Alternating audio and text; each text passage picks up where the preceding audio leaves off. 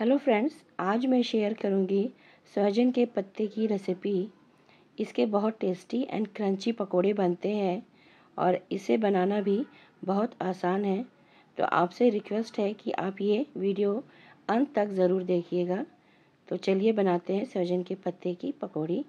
इसके लिए सबसे पहले हम पत्ते को अच्छे से तोड़ लेंगे और इसे काटेंगे नहीं।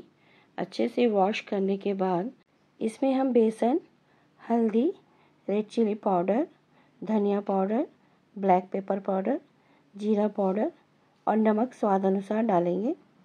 अब इसमें लहसुन और मिर्च का पेस्ट डालकर इसे अच्छे से मिक्स कर लेंगे और थोड़ा थोड़ा पानी डालकर इसे अच्छे से मिक्स करेंगे।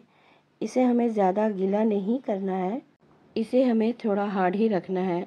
क्योंकि नमक डालने के बाद ये पानी छोड़ने लगता है। और अगर आपको गीला ज़्यादा लग रहा हो तो आप इसमें थोड़ा सा बेसन ऐड कर सकते हैं।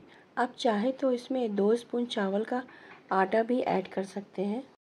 अब हम एक पैन में थोड़ा सा सरसों का तेल डालकर उसे फैला लेंगे।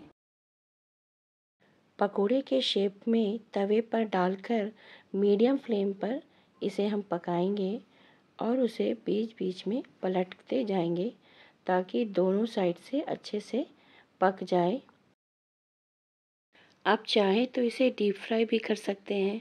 सोयाजिन के पत्ते की पकौड़ी को आप धनिया पत्ते की चटनी या अपनी पसंद की चटनी के साथ सर्व कर सकते हैं।